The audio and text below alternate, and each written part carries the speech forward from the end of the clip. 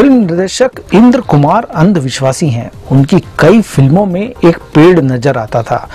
इंद्र कुमार उस पेड़ को अपने लिए लकी मानते थे और उस पेड़ के इर्द गिर्द हीरो हीरोइन को चक्कर लगवाने वाला शॉट ज़रूर रखते थे। इंद्र का मानना था कि उस पेड़ के कारण उनकी फ़िल्में सफल होती हैं।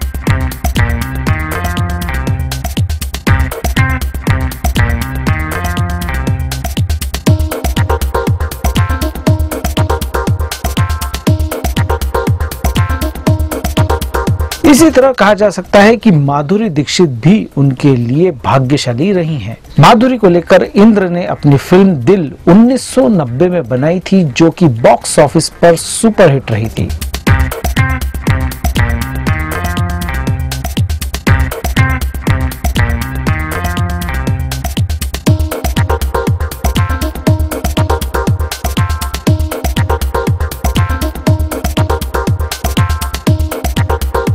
इसके बाद इंद्र कुमार बॉलीवुड में स्थापित हो गए। जिस दिन दिल रिलीज़ हुई थी, उसी दिन राजकुमार संतोषी की घायल भी रिलीज़ हुई थी, जिसमें सनी देओल हीरो थे। दिल और घायल दोनों एक ही दिन रिलीज़ होकर सुपरहिट रही थी।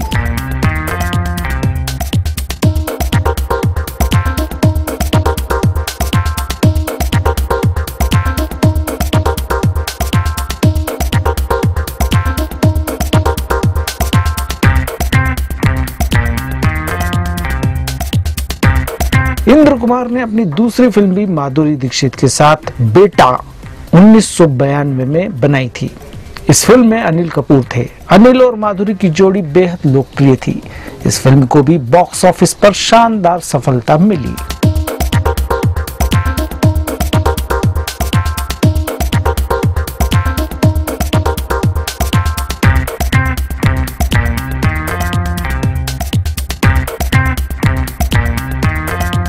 माधुरी तब नंबर वन नायिका थी और इंद्र कुमार अपनी इस हीरोइन का साथ नहीं छोड़ना चाहते थे।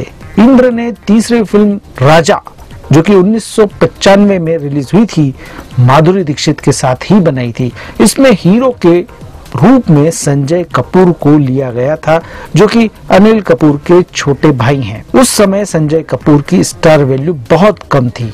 लेकिन माधुरी के कारण राजा भी सफल रही, जो कि संजय कपूर की एकमात्र सफल फ़िल्म है। इसके बाद माधुरी दीक्षित ने काम करना कम कर दिया और इंद्र कुमार भी धमाल और मस्ती सीरीज़ में व्यस्त हो गए। उनकी कुछ फ़िल्में हिट रही तो कुछ फ्लॉप। उनकी पिछली कुछ फ़िल्में असफल रही और इंद्र को एक बार फिर माधुरी की याद आई।